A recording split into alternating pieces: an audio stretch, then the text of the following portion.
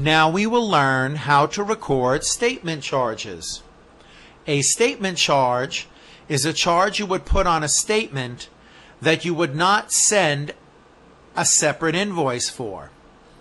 For example, if Holden charged a monthly maintenance fee of $50 just for the privilege of having a credit account with Holden, that would be a reoccurring charge that the customer knows they have to pay. And since it's relatively small and it's the same amount each month, we would not bother sending a separate invoice.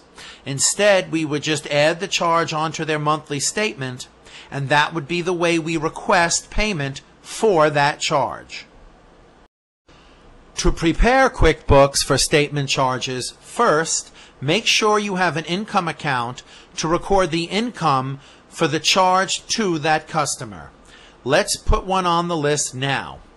List, chart of accounts, account, new. We've done this many times before, but in this case, the account type will be other income. Not income, other income. That's because this is not the normal way that Holden would earn income. We click continue and other income is chosen in the pull down list. Make sure your cap locks is on and type in income from maintenance fee.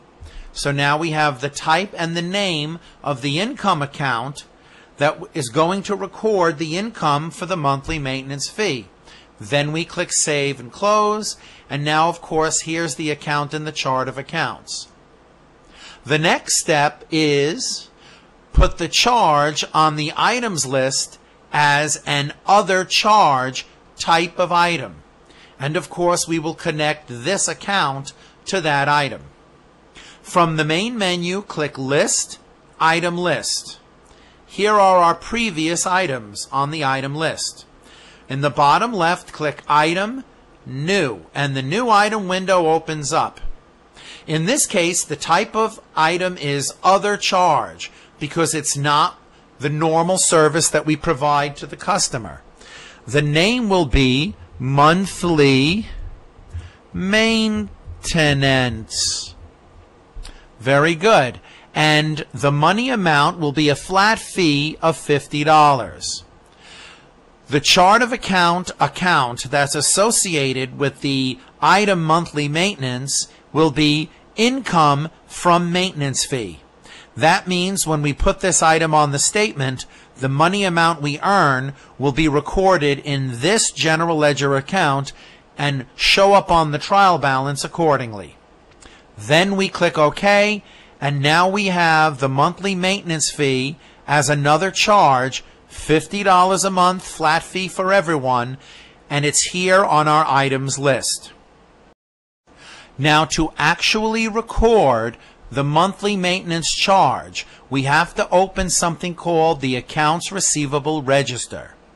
So, for example, January 31, we charged Alan the $50 monthly maintenance fee before printing his statement. This way the fee will be on the statement. Let's see how to do this. From the main menu, click Customers, enter Statement Charges. Notice the Accounts Receivable Register window opens up. It just so happens that customer Alan is already chosen.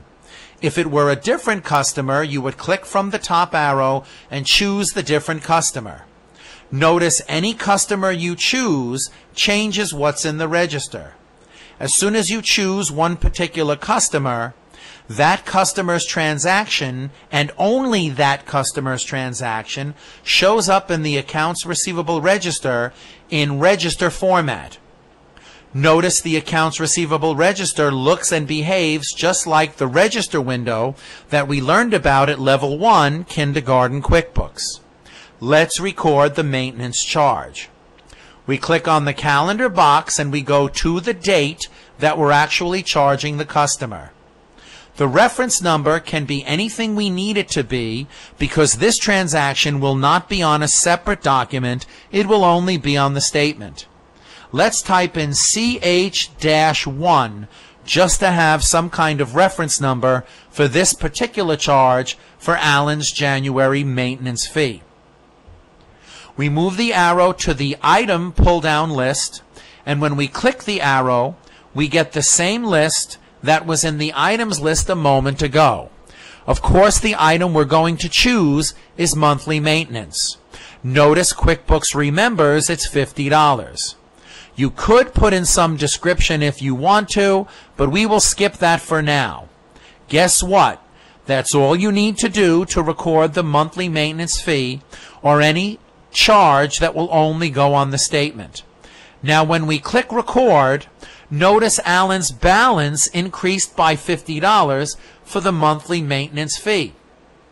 Be careful when you look at the running balance. Remember, this register by default is sorting it in date order. So the monthly maintenance fee that we just recorded down here jumped up to this position here because that's date order and that adjusted the running balance. But regardless, the overall balance for Alan has increased by $50. When you click the open invoice report and you look at Alan, you notice there's an additional charge of $50 and it specifically says statement charge and it increases Alan's balance.